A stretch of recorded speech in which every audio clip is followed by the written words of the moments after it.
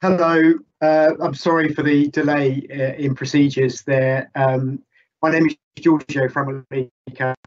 I'm the Deputy Director with responsibility for planning transport regulatory services.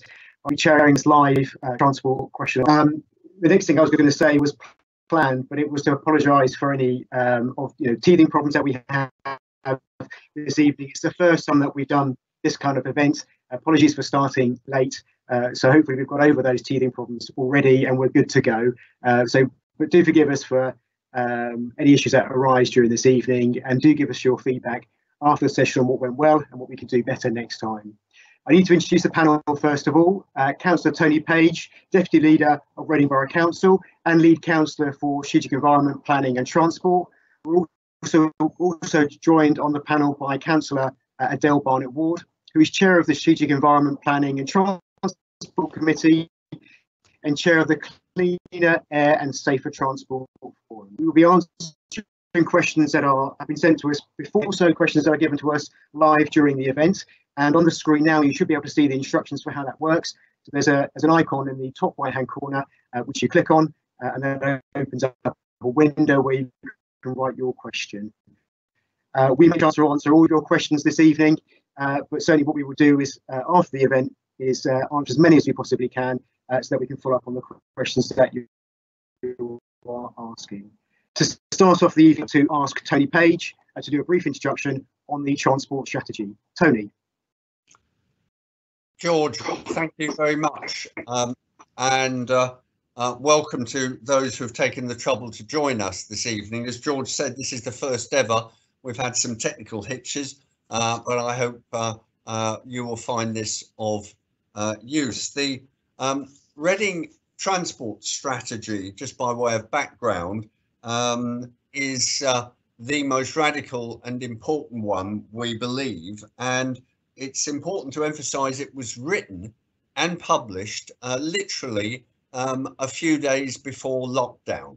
And so we have the situation of consulting on a transport strategy that was written pre-COVID emergency but whose central themes for a cleaner, healthier, and more sustainable Reading are just as valid, if not more so, than when the document was drafted. And our consultation, therefore, invites people to reflect on what was, on what is, and what might be.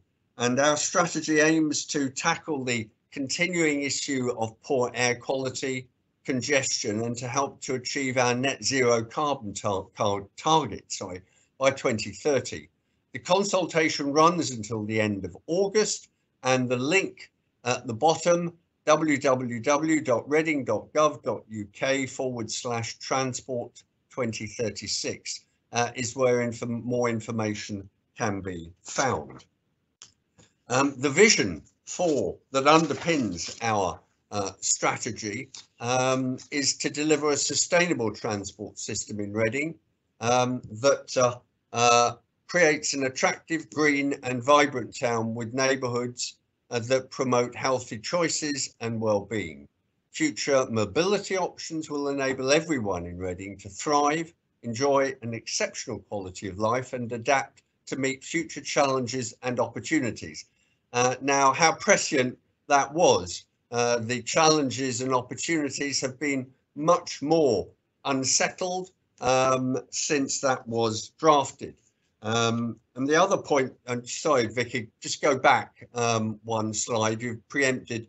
Um, the final point to emphasize about the transport strategy is that it sits and links with other um, uh, strategies and priorities. The Reading 2050 vision, setting out the work that we've done with the university, Reading UK and the private sector about the sort of uh, initiatives we want to see leading Reading to a much cleaner, greener and healthier environment. We have a climate emergency strategy also um, being consulted upon and that consultation runs until the end of June. And the new local plan, um, which again written pre-COVID um, and based on substantial growth in housing both within Reading and surrounding Reading. And one of the key issues uh, that we invite people to reflect on is the way in which this growth in population is going to be accommodated, both within Reading and travelling into and out of effectively the regional capital of the Thames Valley. And if that growth in housing, nearly 17,000 units in Reading over the next 20 years, um, and about three or four times that amount outside of Reading, if that's going to be accommodated, we have to travel in healthier ways and in ways that don't pollute and cause congestion. So that brings us on to the central objectives um, of the strategy, uh, which are five, um, creating a clean and green Reading, which I've mentioned, supporting healthy lifestyles, critically important um, at the present time, um, enabling sustainable and inclusive growth. Um, and uh, that means that we have to uh, um, look at uh, the way in which uh, we travel um, around the borough and the quality um, of the uh, growth that we are uh, supporting.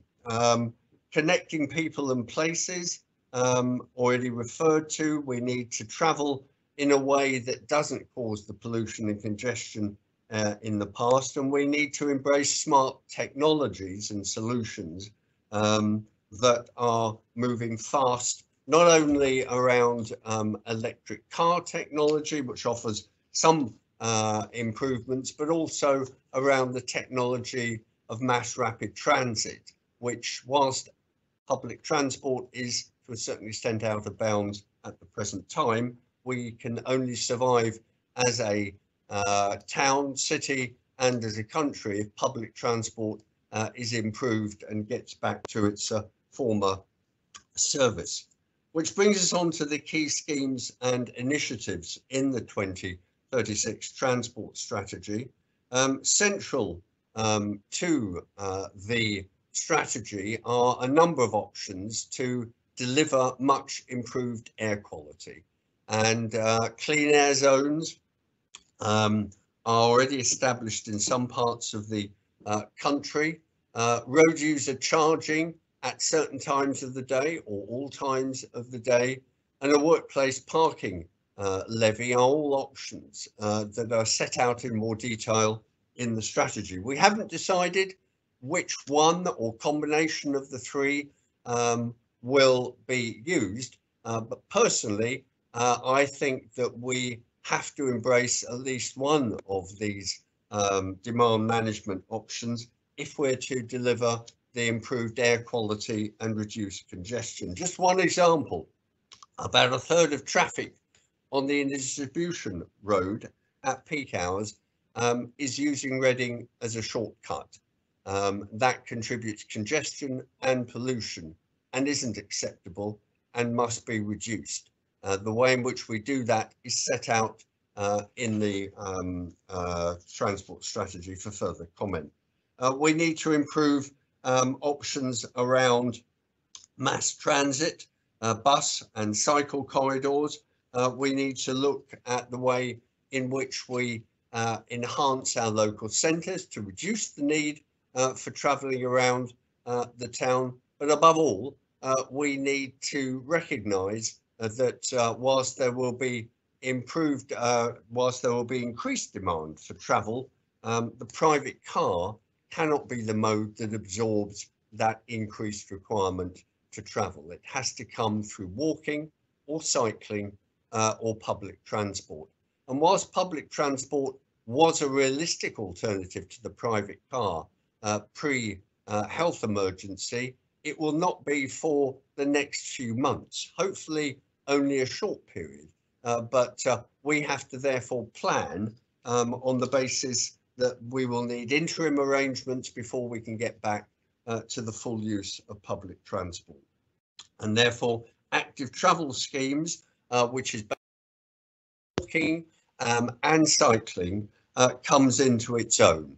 Uh, it offers mobility as well as improved public health and well-being. Uh, moving on to the immediate, and that brings us on to the immediate um, uh, pandemic um, and the changes we've seen. Um, the traffic levels are around about a third of what they were pre-pandemic uh, levels. and that's resulted in something like a 35 to 40% reduction in levels of nitrogen dioxide. Uh, people living on main roads, and I live on a very busy main road out of the town centre on Castle Hill, um, we have noticed the um, palpable improvement in air quality um, as well as reduced levels of traffic, uh, quieter um, and uh, uh, much more uh, conducive. And uh, I would hope that one of the benefits, if there are any streets that past uh, this crisis and our transport strategy um, already has plenty of options to uh, build on those uh, on the current situation and we need to lock in as far as possible the benefits from reduced levels of traffic and increased levels of physical activity um, in Reading. Um, as such, we've brought forward uh, a number of schemes um, in response to the uh, government's uh, recent guidance. Moving on, please, Vic. Um, the government issued transport guidance um, about 10 days ago requiring, not asking, but requiring local councils to bring forward urgently schemes uh, to provide more space for walking and cycling. And Reading's responded to this and we have the advantage of a good local cycling and walking infrastructure plan, which was uh, completed at the end of last year. Um, and we've been able to identify schemes that complement our wider longer term uh, strategies, but deliver immediate uh, improvements. Sidmouth Street, we're talking about uh, removing the southbound lane for traffic and converting it uh, to cycling and walking. Gosbrook Road, Westfield Road, um, I'm sure we will speak more about this and Adele, my colleague who's with us this evening, represents that area and that's some one-way proposals in that area. And on Reading Bridge, um, we're talking um, about, well, we are removing a lane of traffic um, uh, southbound in order uh, to provide greater cycling and walking space uh, over the bridge. The other schemes in Southampton Street, Redlands Road, Oxford Road and London Road are in the pipeline um, for further work, but those first three schemes we're aiming to deliver by the end of June. And as this map shows, uh, the whole borough has been identified and we've got ambitious proposals for those um, other roads. I will leave it there, George, as we're uh, running a bit late and hope that introduction gives a flavour uh, of what we're thinking. Um, but I suppose the key message I would uh, leave with people is that I don't think, and people may differ, that the current crisis is going to see us returning to normal as it was. More home working, less reason to travel in peak hours, perhaps staggered school hours, a whole range of changes uh, are underway uh, that are likely to influence the demand for travel, might reduce it at peak hours, but either way, we have to now uh, review and revise um, our plans based on a strategy that was written pre-emergency, but is still very much relevant to the current crisis and how we come out of it. George, I'll hand back to you. Thank you, Tony. Um, as you say, uh, we, have lost a bit of time at the start, but so let's go straight to the, uh, the questions. And firstly, thank you for everyone that sent in their uh, questions. And just to remind viewers uh, about the option to provide questions live uh, throughout this uh, this evening session. So the first question we had submitted was from a resident called Nikki. she asked, "Why are you so anti-car?" Tony, would um, you like to answer this one? Yes, and I'll, I'll, I'll be brief. We're not anti-car. We're pro-local environment. Um, we are talking about rebalancing uh, transport in Reading in a way that promotes more walking and cycling and protects public transport. And uh, I think all car drivers are at some stage a pedestrian. Uh, they also use public transport. Uh, so we need to focus on the variety of means of travel and uh, there will always be some car drivers that do need to use their car, people with disabilities, uh, people who are doing essential deliveries. Um, but uh, there are large numbers of people who use their cars locally for very short journeys who need to be encouraged for health reasons, their own health, as well as the community's health, to look at other options for travelling. And the current crisis, um, egged on, and rightly so, by Grant Shapps, and I don't always say nice things about government ministers, but I think the Secretary of State for Transport has done a good job in urging us to bring forward short-term measures. Uh, they've promised us funding. We're still to receive the details of that, uh, but that funding will be deployed for the whole community. So we're not anti-car, we're pro improvements to our local environment. Okay, thank you, Tony. Let's go to a second question, uh, which is on the screen now. So the question is from Emma Thomas. Uh, I have noticed a huge improvement to air quality and improvement to my breathing since the traffic has reduced recently. How can Reading try and keep the pollution down as people start to, perhaps for both? Uh, Tony, do you want to start? Well, why, why doesn't Adele go first? I think people have heard enough of me for me. Adele, do you want to start on that uh, on that question? Absolutely. Thanks, George. And, and thanks for sending the question in, Emma. Um, I think there's two different, uh, three, sorry, different sections of, of how Reading can try and keep the pollution down as people start to return to the work. There's what we do as individuals, there's what we can do as organisations, and then there's what the council can do, what the local authority can do. I think what we can do as individuals, we have, this is such a terrible time and so much tragedy, but the uh, one benefit that we have had is that people have had the opportunity to reimagine their local area. Um, I don't live on quite such a busy road as uh, Tony does, but I do live on a connection. don't live on such a busy road. It is a connecting road, and it has been lovely to have lower levels of traffic and to actually be able to speak to neighbours across the road, which I usually can't do because there are too many cars. Um, and we've all had that opportunity to think about movement in Reading as people, not just vehicles. And a lot of uh, transport design has been about moving vehicles around towns rather than about moving people around towns. So I think what we can do as individuals is to not have our car as the default, to think for each journey, do I have to do that by car? Could I walk? Could I cycle? Could I take the bus? Obviously, I'm thinking not right now uh, with the bus. Then as organisations, um, those of us who are employers need to look and say, do does that member of staff have to be in the building? Could they do more home working? Could they be more flexible? How can we make, um, I, for example, I offer people uh, shift times based around bus timetables. Uh, no one's actually taking me up on it. I do offer it. And then as a local authority, what we have to do is to make it safe and pleasant and attractive to walk and cycle around. Car dominated streets are not streets that are nice for pedestrians and cyclists to walk in. Uh, so we have to work to reimagine um, something that I'm very keen on is the concept of livable neighbourhoods. And this is all, all based around giving people a sense of community and designing streets at person size rather than at car size. Right, hopefully that got through. I'm back to you. Oh, Tony, if you'd like to take over. No, no, no. You've covered it. I've got nothing to add. So, so hopefully, hopefully uh, people be able to hear you there, Adele. Thank you for your for that uh, that answer. There's a there's a question posted on the live uh, Q and A uh, from Keith Faulkner. If I can ask that uh, this question of the of the panel. So Keith is saying the Transport Strategy 2036 is very comprehensive and thorough.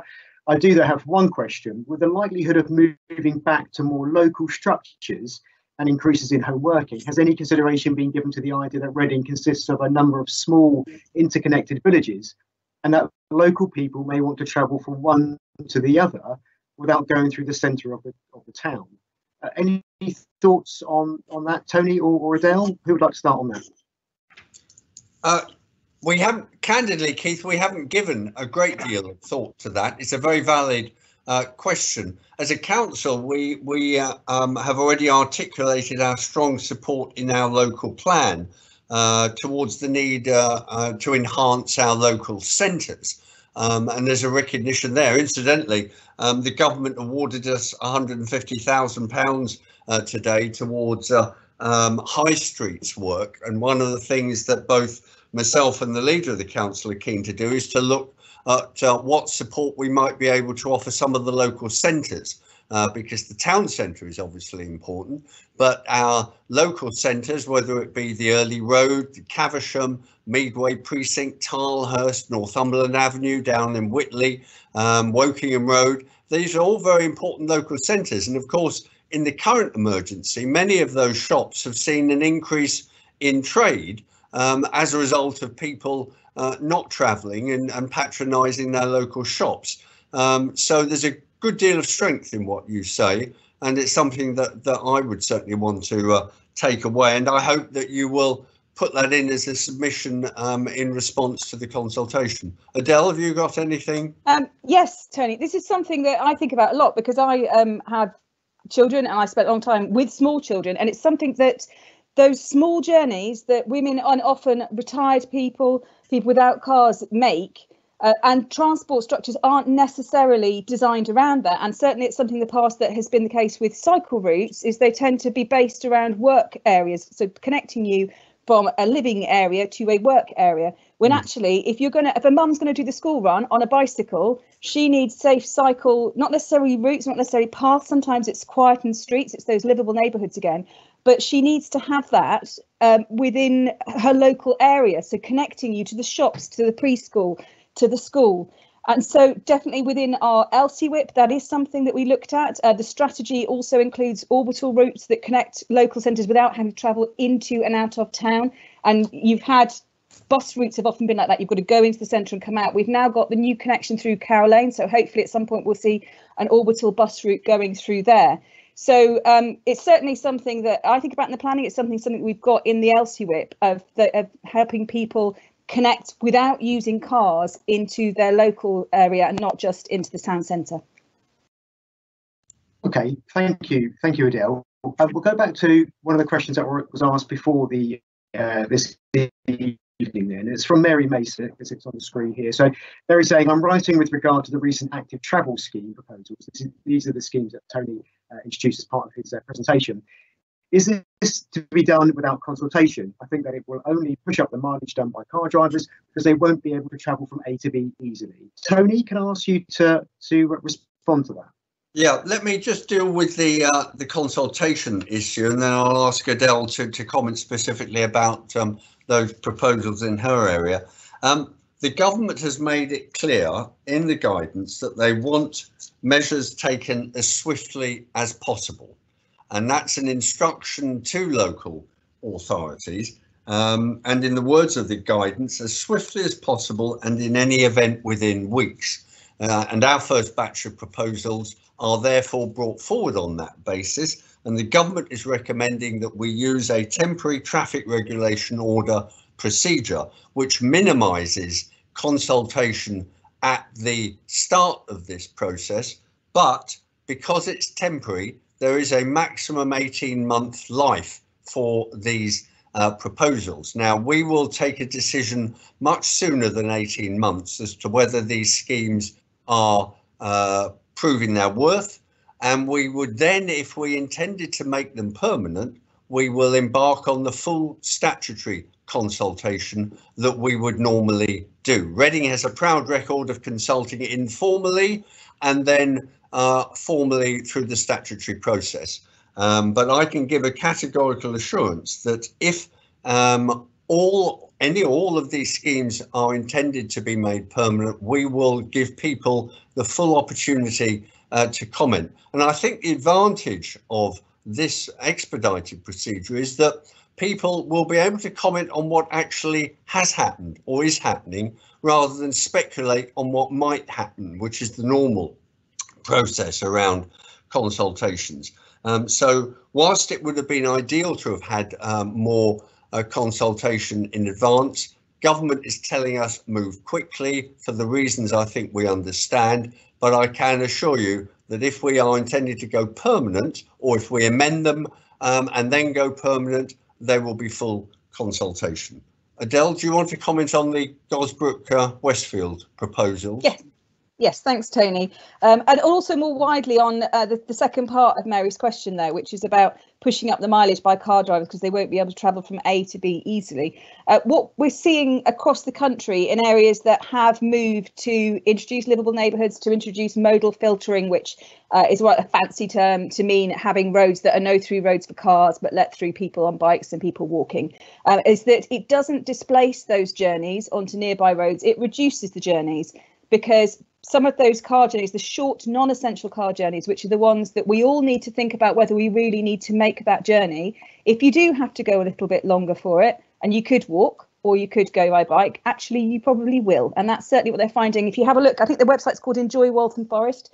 Uh, Waltham Forest is one of the mini Holland schemes in London. They are a long way down this track and they have improved air quality across the borough and they have the data there to show there are fewer car journeys happening. It's not just that they're being moved and it's not creating congestion it's actually reducing congestion and improving air quality. Uh, on caversham itself i had um, a few residents contacted me about the one way on westfield road and gosbrook road. And i think this was because there had been quite a long time ago now there'd been a scheme to have one way down westfield road two lanes of traffic and mm. people thought that that's what we were proposing to do now, which it isn't. Uh, this isn't something that um, we actually had in forward planning. This is a direct response to what the government said about making space for social distancing on pavements. And it started with Gosbrook Road, that short section between Westfield Road and the centre of Caversham. Those who know it will know the pavements are extremely narrow there, particularly on the, on the southern side. You cannot pass. And what's been happening with when the streets were very, very quiet during lockdown is people stepping out into the street. Now, as traffic's picking up a bit, people are having to make the decision to either step out into the street to observe social distancing or not be able to social distance on that pavement. So it's obvious that we have to try and do something there to protect people, to let them keep that two metres apart that's so important without endangering themselves as we start to see more cars on the road. So the proposal there is to take it down to one lane so that there's space and we're still drawing up plans for that. Um, and once we have those plans, we will be publicising those. And it's an important route because it connects you to the centre of Caversham. It also connects people down to Thameside School for the school run. And then on Westfield Road, that's an important route for the school run for Thameside School, for the Heights School, to a certain extent for St Anne's, but also for older pupils heading up to Highdown, um, coming from Lower Caversham, will travel up that road. So again, there's the opportunity to make more space for pedestrians, and this will be one lane of of, of, of one way. There'll still be uh, the residents will still be able to park on the road. The plans will come out as soon as we've got them. And this will all be done with signage and barriers. So as local councillors, the ward councillors, we're going to be paying very close attention. I know my residents will be paying close attention as well. If it doesn't work the way we think it will, it will work, we can alter it or we can just take it out. And that's the beauty of that scheme there. It is temporary and it is experimental. And it would only ever, we have the possibility in the report that it could have a consultation for permanence, but certainly from the point of view of the Caversham Ward councillors, we'd only support consultation if people said to us, please don't let it go back to the way it was. Um, it's certainly, we've got no agenda of wanting to keep that permanent. It's, it's a response to the need to social distance in the centre of Caversham. Thank you. Okay, so uh, before the evening, but just before we get to that one, I'm just going to um, Louisa Guys has asked a question which we've, uh, we've I think we've generally answered, uh, but there's a additional comment from from Louisa. She's saying about please prioritise pedestrians, cyclists, transits, cars in this order. Electric cars are not a solution to improve congestion. Any thoughts on on that uh, statement actually, but in terms of electric cars and, and what this might mean in terms of a potential solution to our um, issues in Reading? Adele, do you want to? Uh, um, yeah, absolutely. Yeah, I, I can. I completely agree with Louisa. Electric cars are a, re, a good solution for those journeys that have to be made by car. Um, there aren't actually there are many things that could be accomplished not by car. For example, e-cargo bikes. I've seen a fridge taken on a bike. If you really want to, you can take it by bike. But there will be people and journeys that have to go in a car, and where that's the best solution. And electric vehicles are a decent solution to that. But if we just took, if we could take every petrol and diesel car off the road now and replace it with an electric vehicle, we would still have pollution. Um, they cause pollution in their manufacture. They cause particulate pollution from the brakes. Um, obviously, you're assuming that the electricity is green generated, which it isn't necessarily. Uh, but also, you still have the problems of congestion, you still have the risk. The people who are least likely to own a car, which is young people, people with disabilities and mobility issues, older people, are most likely to be injured by a car. So, if we're going to reimagine our streets, if we're going to build back better uh, from this crisis, then we do need to have fewer cars on the street. So I'm really pleased that we have been pushing electric charging points in Reading. It's a real challenge for people who don't have off-street parking to have um, electric cars. We've been we're putting charging points into lampposts. We're looking at other ways to put charging points in. But absolutely, they're part of the solution. But it, if we just swap straight over and carry drive on driving at the same rate we do now, we're still going to have real problems with congestion and pollution in Reading.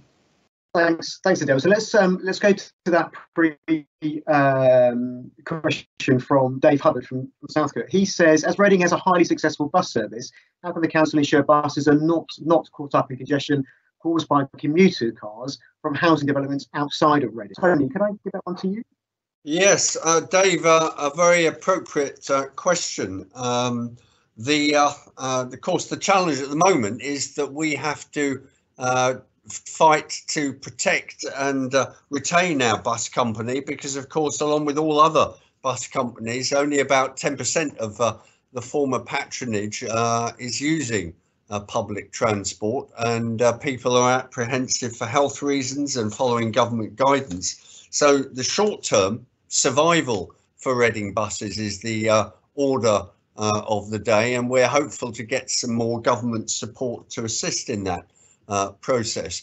Uh, but the strategy recognises that uh, public transport uh, into and out of Reading is critical um, to the future development. I mentioned at the start that loads more, something like 45 to 50,000 new units of housing will be provided around Reading um, over the next 20 years. There's a possibility of a new town at Grazeley, although government funding for that was not forthcoming uh, pre the uh, pandemic. Um, but we are certainly um, conscious of the need to ensure that the way in which people travel into Reading um, is based on much more use of public transport, which is why our transport strategy uh, talks about the need for more park and ride sites, particularly to the north of Reading in Oxfordshire or in South Oxfordshire. And we need the cooperation much more of Oxfordshire County Council and South Oxfordshire to deliver park and ride sites. We're talking about um, a northern orbital road to link those park and ride sites uh, round the north and east of uh, uh, the borough to a third Thames bridge, which would also be um, heavily prioritised for public transport, walking and cycling. Um, so uh, the strategy was written, as I said at the beginning, pre-crisis, um, and uh, uh, the extent to which we can get public transport back to its former glory in Reading will be one of the great challenges. Reading has the third highest use of public transport buses outside of London.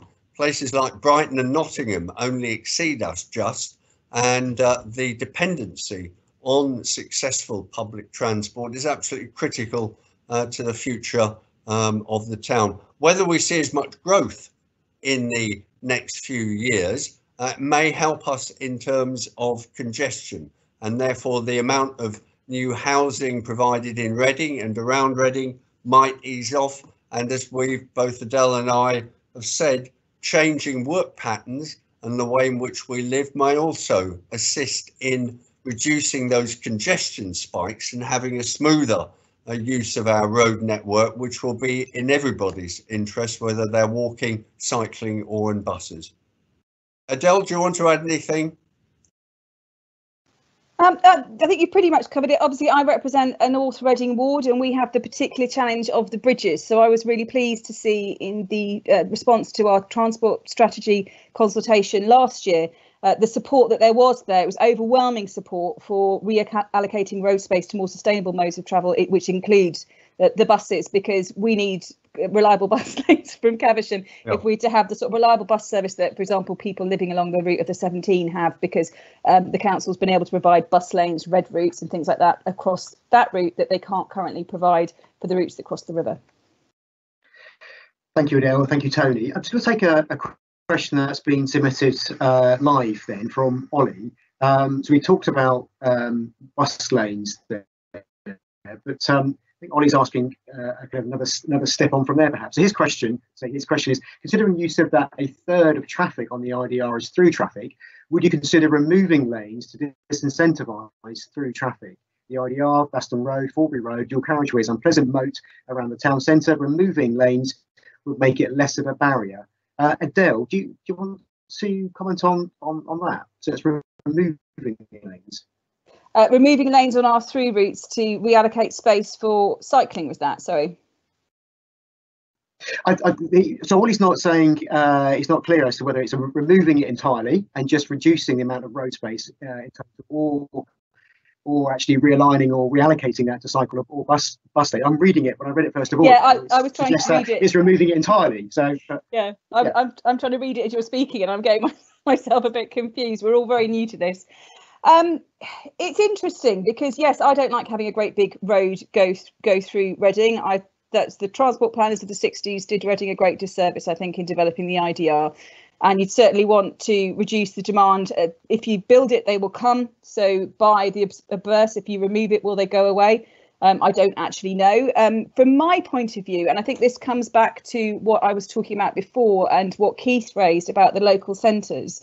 Um, the IDR isn't that useful a route um, for a lot of the journeys that I'm thinking about. If you're thinking about the short, inessential journeys, so it's not something that I've actually spent a lot of time thinking about. I will think about it now, um, but I don't have a sort of quick answer prepared to that. It's an interesting, interesting um, idea, and it's not one that's been suggested to me before. I don't think. Can Tony, I, I, don't know. Yeah. Yeah. Can I just? I, I don't think. Sure. Uh, the old the ambition okay. removing a lane. Thanks, Adele. I'm going to stay with uh, with you for this one. Sorry. Sorry. So hopefully, if you can hear me, we're going to George from Don Sibley from West Reading. So I'll just let the uh, us catch up. Hopefully, you can hear yeah, me okay. I, I think Tony, uh, just, so Tony just had a George, point on the previous one. Yeah, George. I think you're okay to go, Tony. Yeah, I just wanted to add to, to what Adele said. It's not a case of either or. What we what we need to do is to uh, dissuade, disincentivize, penalise indeed vehicles that are using Reading as a shortcut. Um, reducing traffic on the uh, IDR is something that we would all welcome, um, and therefore some form of charging uh, scheme um, would uh, disincentivize and could penalize people simply using Reading as a shortcut. Um, and that would then enable us to look at removing uh, um, some of the road space around the IDR uh, and reallocating it for cycling. I wouldn't necessarily suggest walking, uh, but for uh, for cycling um, or public transport. And the other objective uh, that I particularly am keen on, and there's a long-standing objection objective is to see sections of the IDR decked over, um, so that we can actually deliver some open and green space uh, in the centre and cover over uh, that uh, real planning disaster, which, as you rightly say, Adele, um, my and our forefathers on the council and uh, did us a disservice. But um, that was the mode in the 50s and 60s, uh, and we now have to uh, redress that. Sorry, George. No, thank you, Tony. I think I kind of uh, kind of lost my connection briefly as well. So sorry if I talked over either of you. But I just wanted to um, ask uh, Adele this next question um, about school streets. So uh, the question is, Adele, from Donna Sibley from West Reading. I read about some good measures in the draft publication, but I wanted to ask specifically about Reading Council's provision for school streets and how these will work. Will there be signage and messaging to drivers to take care, drop speeds, and expect pedestrians in the road? Adele, do you want to answer that question? Yeah, absolutely. But also, I'm just going to endorse. Can you imagine decking over the IDR and building a park on it? be wonderful. I'd love to do that. Um, okay, so um, yes, school streets. Now, school streets are very dear to my heart. This is something that has come out of and been endorsed by the Cleaner Air and Safer Transport Forum. Uh, it was, in fact, the topic of our first forum. Um, so it's something that I'm determined to see. There is a, and I think we're going to put the link to it in the Q&A or fact sheet that comes out after this. There's something called the Hackney School Streets Toolkit. Hackney were one of the first London boroughs to develop school streets. They're now used in multiple boroughs across London. And it is what it says. It's a toolkit. It's a method for um, council officers to use to see how to use school streets, how to implement them um, in their local authority. And at the core of school streets is it must have community support. It's got to come from the school. It's got to come from the parents at the school. It's got to be supported by the community around the school. So I think that's something that's really important to say right from the start. This isn't a case of the council sitting there and going, right, that school, you're having a school street. What we are doing is approaching schools and saying, we're going to bring school streets, we're going to make this opportunity available. Do you want this opportunity? And would you like more information about it? So we're not just sitting back and waiting for schools to come to us, um, but it does have to have support from the school com community. It's not something we can impose. There are lots of different models of school streets used in different boroughs and different places uh, across London. Some of them have pull-up bollards, so they actually block the street. Uh, this is, oh, and I should probably explain for anyone who's watching this who doesn't know what a school street is. It is a scheme where the area around a school, uh, the little network of streets, is closed to through traffic at the start and the end of the school day, usually for about half an hour, 45 minutes. And the aim of that is to dissuade parents from driving on the school run. Again, we go back to these short, non-essential car journeys. And I know some parents will have no other way to do the school run other than the car, but lots of people are doing it because it's convenient and they're travelling on to somewhere else and it feels safe to do that school run in the car. Um, it is actually by taking your children to, car, to school in the car, they're actually uh, inhaling more pollutants than the children who are walking and cycling. By the way, that's because you're enclosed in the car with it. Um, but so it's to dissuade those short journeys and also make parents feel more confident uh, that their children will be safe walking, scooting, cycling to school, particularly older primary school children as they start to have that independence of doing the school run by themselves. And I know that again as a parent, um, that bit where they don't want to be walked to school with you anymore, they want to go by themselves, and you're mapping out where's safe and where isn't safe. And still, I am very reluctant about a year six child of mine crossing my own road. Um, so I, I do feel for people with that. So there are different ways of doing it. Some boroughs and some places they will pull bollards up and just nobody comes in and out for that half an hour, 45 minutes. Um, others, they this works in areas with parking permits.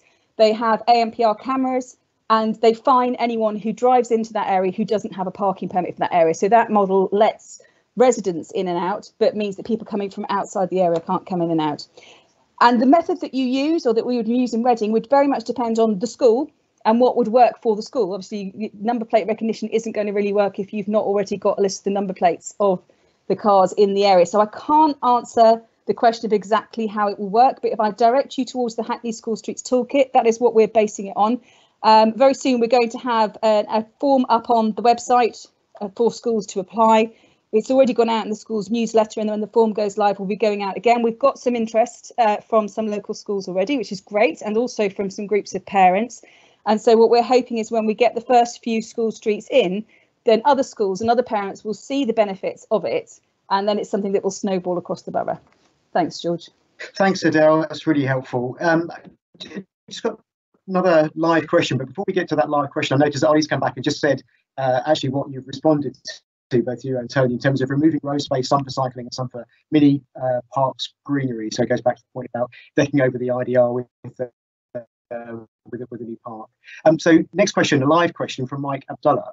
Uh, he asks, I'm enthusiastic about your plans for cycling improvements, particularly to Reading Bridge and Silver Street. One clear bottleneck remains there, which is travel between north and south of the railway, e.g. on Vastern Road. Are there any plans there? Tony, can I, pass it on to you? Um, so, but the just repeat that, George, about uh, about getting about getting north and south of the railway line on bicycles. So yeah, basically say yeah, so uh, which is travel between north and south of the railway line, e.g. on Vastern Road. Are, are there any plans there? Um, right. Well, I mean, Vastern Road um, is obviously um, an area where we currently have uh, bus lanes uh, which are open to cyclists. I recognise that the roundabout um, is uh, regarded by some as pretty daunting. We've recently altered the spiral markings there to improve road safety uh, for all uh, users. Um, the other issue that will be more attractive to cyclists is that we're committed to uh, allowing cycling through the tunnel at the station. Um, so uh, from um, uh, from Vastern Road, uh, you would be hopefully uh, in the not too distant future, uh, because we're currently looking at repairs to the roof there. but we recognise that in the context of improving cycling and connectivity north and south of the railway line, it is unrealistic and impractical uh, to continue to ban cycling um, in that subway. And it also links to the uh, plans that we have for the redevelopment of Station Hill to accommodate uh, cycling um, around and through that uh, site. Uh, so um, Vastern Road is a challenge um, and the area um, around uh, the station, but believe you me, we are looking at a range of options to improve walking and cycling um, across that uh, busy road. And indeed, if the redevelopment of the uh, SSE site on Vastern Road um, takes place, um, there will be a direct link from the Christchurch Bridge through that site, uh, then across Vastern Road to the tunnel um, subway that I've just referred, which will then become a much more attractive route. Thank you, Tony. Uh, so just to remind viewers, if you uh, want to publish your question, uh, that top right-hand box, if you can tick on, on that and then open up the screen and post your question. Uh, but in the meantime, we've got a question that was submitted uh, before this evening from Brian Oatway, uh, perhaps one for Adele. So Brian asks, can you advise if consideration has been given of the increasing number of e-bikes in the proposal, please? My understanding is that they can be used on cycle lanes and shared pedestrian cycle pavements. Given that e bikes can go at 15.5 miles per hour. Any increase in their usage on existing shared pavements will greatly increase the danger young children and elderly pedestrians in particular. Adele, can I ask that one of you? Yeah, thank you, George. I think there's there's two elements in this question, and thank you, Brian, for sending it in. Um, one of which is about e-bikes and their use and their nature, and the other one is about shared use pavements. If I can deal with e-bikes first of all, again, for those who don't know, so the the electrical assist bikes. So it's not like a motorised right sit-on scooter that will just drive for you. You have to pedal, and then you have a battery and a motor, and that will um, put a bit more power behind your pedal. So they are really good um, solution for people who live at the top of a tall hill that they otherwise might struggle to cycle up. So if you live at the top of uh, uh, Kentwood Hill, if you're in Caversham Heights, if you're in Emmer Green and you think I'd be fine heading into work, but on the way back that would be a nightmare. An e-bike is what you want because that will just you will go up a steep hill as though you're cycling on the flat. And they're also good for people who worry that their fitness might not be uh, sufficient for them to be able to do, to cycle a, a journey to work or a journey along to the shops and haul a lot of shopping back. And also, people, it's a genuine concern. People say, I don't want to cycle to work because I don't want to arrive all hot and sweaty. Again, an e-bike takes the priority. You are still getting some exercise. You are getting the benefits of being in the fresh air and taking activity, but you don't have to slog quite as much as you would with uh, a standard non-motorized bike. Now, as Brian points out, they cut out at 15.5 miles per hour. They're legally required to do that. Now, a fit cyclist on a road bike can go faster than that. So an e-bike, you'll go faster than a normal bike uphill, unless you're racing Bradley Wiggins. Um, but generally, if you're on an e-bike, you are that's the top maximum you're going to get because they are very heavy. That motor and that battery makes them quite a thing to haul when the motor isn't helping you anymore. Um, so you're not going to suddenly find lots of faster cyclists around because of e-bikes, because actually the fastest cyclists will not be on e-bikes. Uh, but then we move on to shared use, and there is some concern around shared use. And I think in some areas across Reading actually works pretty well, um, and that tends to be areas where you've got long, straight um, areas of shared use and not many pedestrians. I'm thinking about the new shared use that's coming along some along the A4, for example, that I've used sometimes.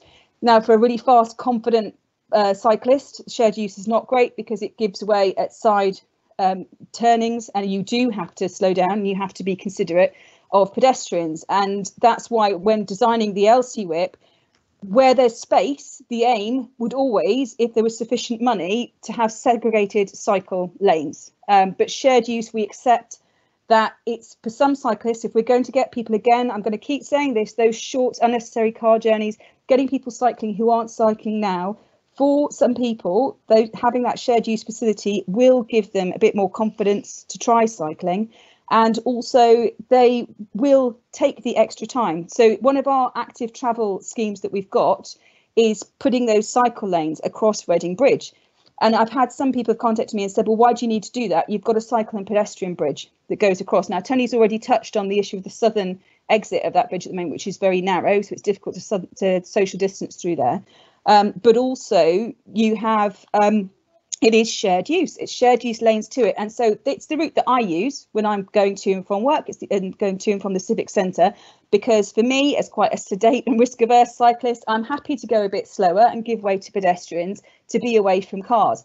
But by giving that extra facility to faster and more confident cyclists, we can give them a viable alternative to go differently. So I think with shared use, if we're providing alternatives then you will get those more risk averse cyclists on shared use.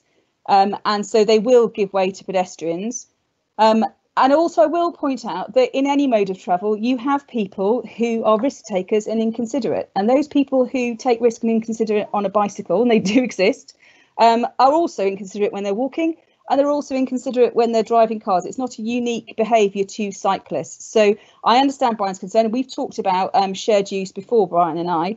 Um, but I don't think that the advent of e-bikes is going to increase risk-taking behaviour on shared use pavements because what we're going to have people using e-bikes are the people who don't currently have the confidence to cycle or don't feel they have the fitness to cycle, and that is not the same group as the people who are inconsiderate when they're cycling. Thank you. George, can I Certainly, Tony. Do you want to come in on that? Yeah. Add, I, I, I, I thoroughly endorse what Adele's just said. It's a useful opportunity, this question, just to uh, hang a comment on about e-scooters. Um, and uh, just to remind everybody that uh, I, we, we refer to e-scooters in our transport strategy. It's one of the emerging technologies to which I referred, but they are, strictly speaking, all illegal at the present time. And the government has just uh, uh, is just consulting and is expediting its consultation around the legality of e-scooters. I would imagine they're likely to be legalised, but on what basis their use will be legalised, I think is the key question. Um, I would require them, the users, to uh, um, to wear helmets. In fact, I would require all uh, road users on cycles, on bicycles as well. But that's a personal view. But certainly with e-scooters, um, bearing in mind that they can comfortably reach 25 miles an hour, they should be on the road. Uh, we can perhaps allow them in bus lanes, uh, but the regulation around that needs to be transparent and standardized as at the moment e-scooters um, are used and abused all over the place and they aren't even legal. Um, so we need to get that sorted so that we can plan accordingly um, as well as uh, in other towns and cities.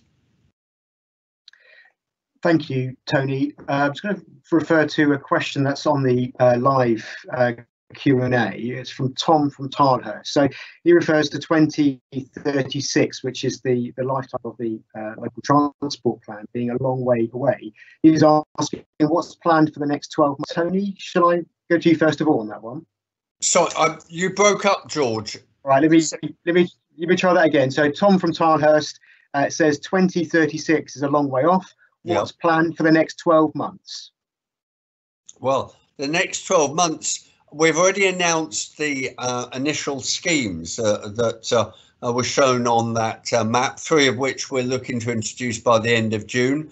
We're looking to bring forward proposals in the next few months relating uh, to other schemes. Um, but uh, what the next 12 months will bring, well, unless, Tom, you have got a crystal ball that we can share, uh, the fact is that we will have to go with government guidance uh, around the restoration, for example, of the use of public transport, critical to the future uh, of Reading, um, and a whole raft of other impacts economically will shape the way in which we uh, respond in Reading. And we're working with our um, with Reading UK and other local businesses because we're determined to assist the recovery uh, as much as possible. There's likely to be local unemployment. We're going to have to look at retraining uh, initiatives.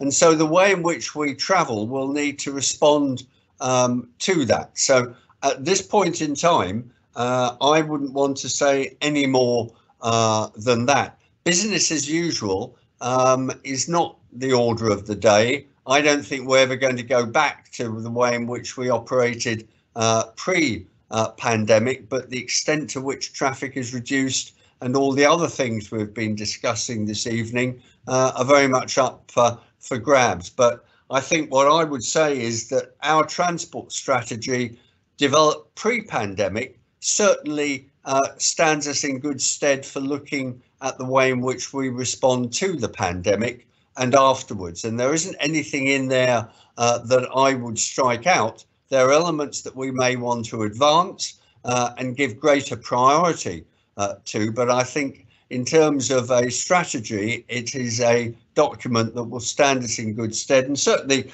it is a long time. There will be revisions of it over every four or five years. We would look to revise it. So it's not going to be set in uh, stone and unamended between now and 2036. And uh, uh, I doubt very much I shall still be on the council then, although never know. Uh, but uh, uh, the fact is that technology is changing so fast, we need to be uh, in a good position to respond to that technology. And again, this document, I think, is remarkably prescient in recognising that we will need to think smartly and respond to those changing conditions.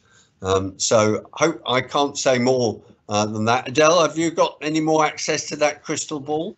Uh, well, I think the only thing that I would add to what you've said, Tony, is that, of course, you, you mentioned it, it depends on the government. we also depend on the government for funding. I mean, we have yes. got this strategy. We have got a whole local cycling and walking infrastructure plan. There's a huge amount of stuff that we could push forward if we could only afford to do it. We've got big plans. We don't have big money, and council funding has been cut successively year on year for the last 10 years. We've just been told to spend whatever it takes to help people through the pandemic, which now seems to be very back on councils are looking at facing quite a big, well, a really big bill for the pandemic. And so it's, it's not really possible to say, yes, we're definitely going to have X amount of money for um, making these changes that we want to make. The government has said there is this money available for active travel. They've said 250 million for immediate uh, schemes. They have not told us how to get that money. They've not told us what the process is going to be, how it's going to be divided up.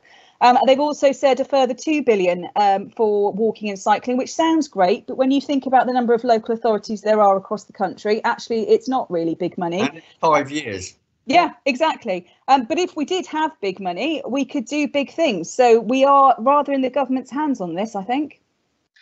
Um, we have had details of the uh, the money for public transport support. And as Adele says, the government has been very good at allocating okay. these seemingly large sums, uh, but uh, uh, no local authority is any the wiser as to what share it will get of that.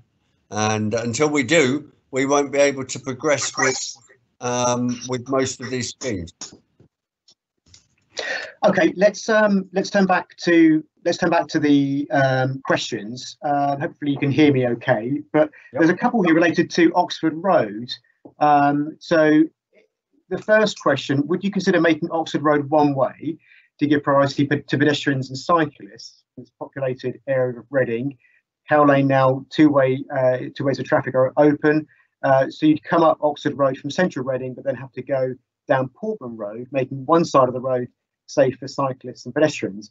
And, and before we uh, ask one of you to answer that question, the next question from uh, Louisa uh, again asks about um, the issue about cyclists expecting to share bus lanes on Oxford Road. So there's some Oxford Road kind of uh, based questions uh, here, which um, Adele, would you like to uh, answer that first of all?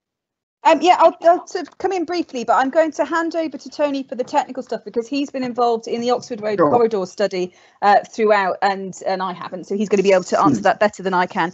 Um, I would love to see Ox- something happen to Oxford Road so that it is no longer a direct route in and out of the town centre. Um, I whether it's a bus gate in the middle, I don't know quite how you do it. If you went one way, it's going to cause problems for the buses. Um, you do need to be able to. It, it's really important public transport route.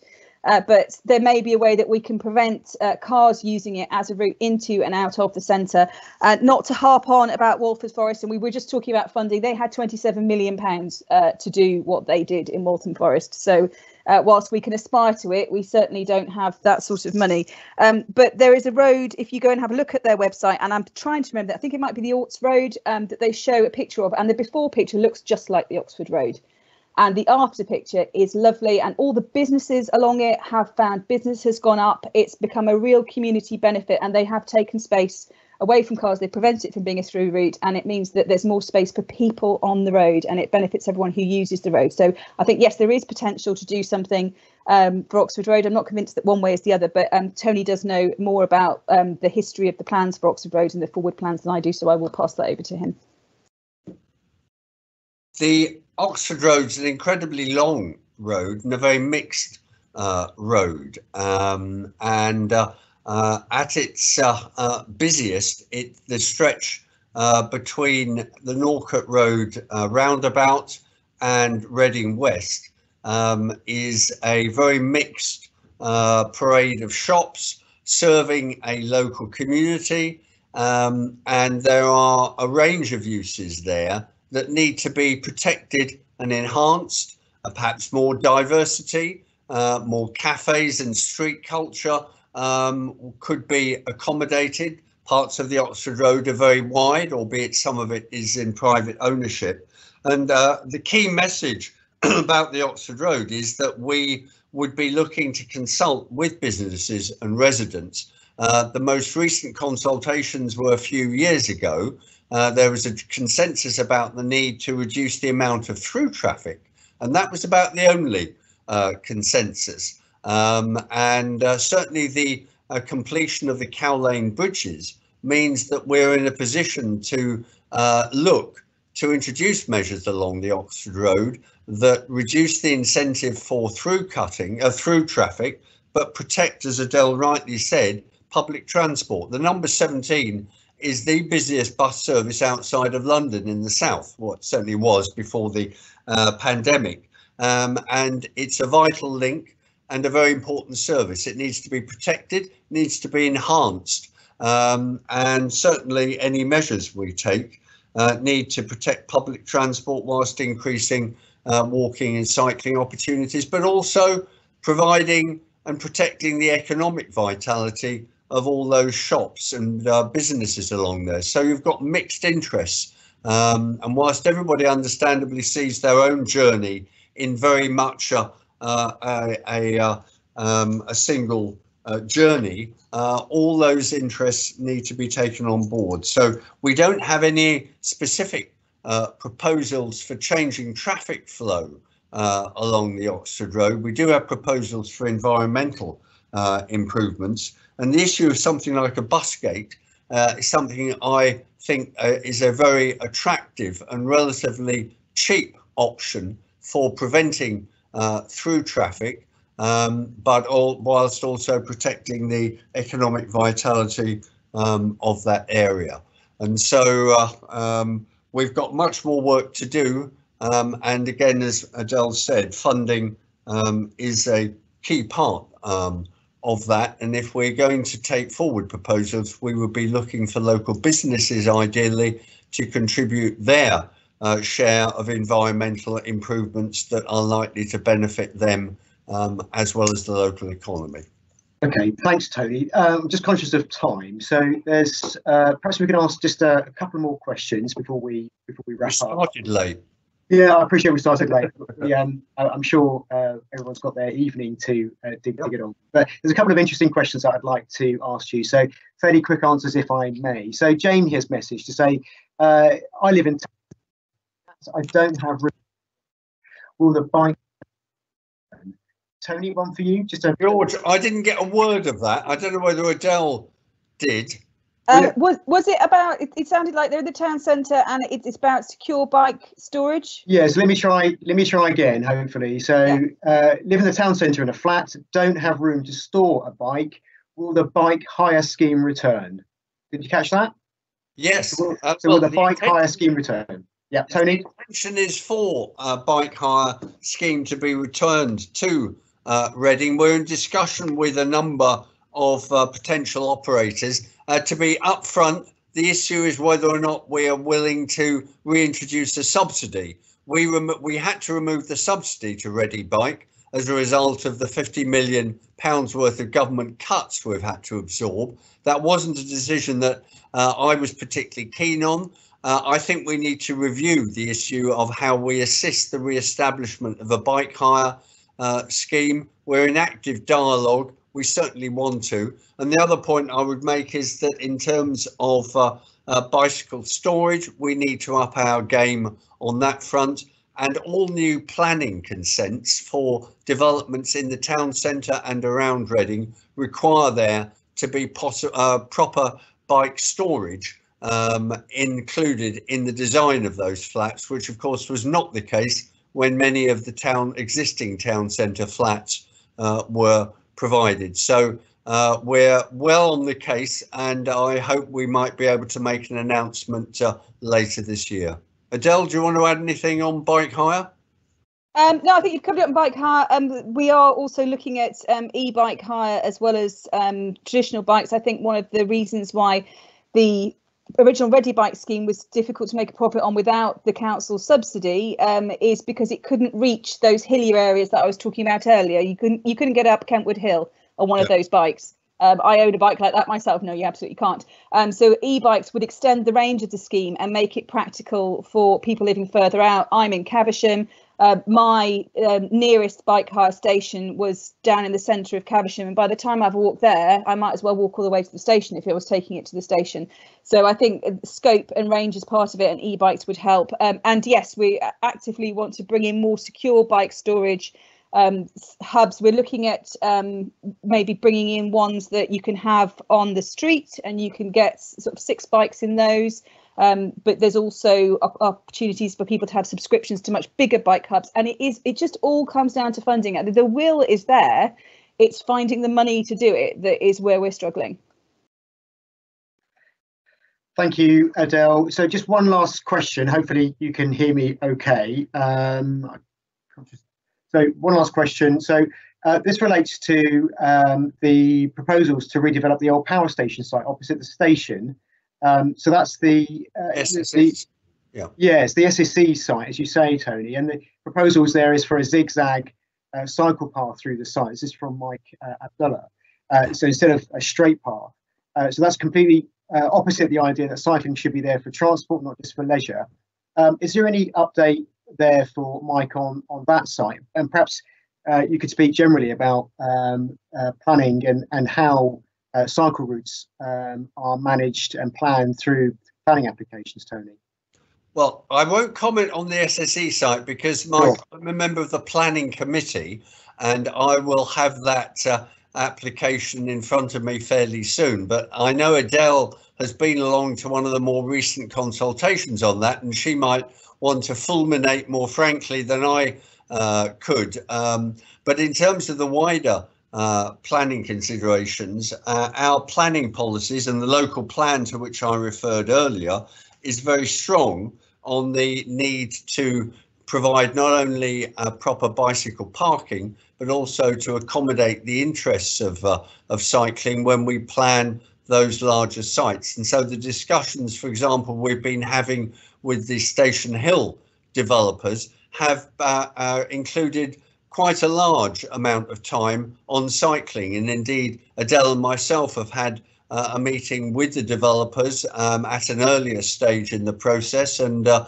she and I and colleagues have made clear how we want to see cycling uh, accommodated um, within that development. And not to the north of the station, um, where we're talking to developers as well, the interests of cycling uh, have not been forgotten, which is why the uh, importance of allowing the subway to be opened up uh, is so fundamental because if we're promoting cycling to the north and south of Vastern Road, it's pretty stupid to then ban it through the one link uh, under the railway uh, line. So um, our planning uh, policies uh, actively accommodate um, the interests of cycling, but as with all planning applications, eventually there will some be some trade-offs that have to be mine, but we made, but we give it a higher priority uh, now than when I first came on the council many years ago. Adele? Yes, thank you, Tony. Um, as you say, I'm not on the planning committee, so I can say pretty much what I like um, about people's plans. Um, I've been following this uh, from the beginning. Uh, there have been many iterations of that site. It is a key active travel link between my side of the river, Caversham, and the station. It's so important. It could uh, possibly be the most important active travel link that we have in Reading. So it's important that we get it right. And there was an earlier iteration of the plans that had an almost straight um, line sweep from the bridge through. Uh, so I was not just disappointed, I was quite I was shocked when I saw a later iteration and it had two steep bends in it. Now I've, I've spoken to the developers now on numerous occasions. Um, I understand why they're doing it. It's because they want to create a sense of place for their development.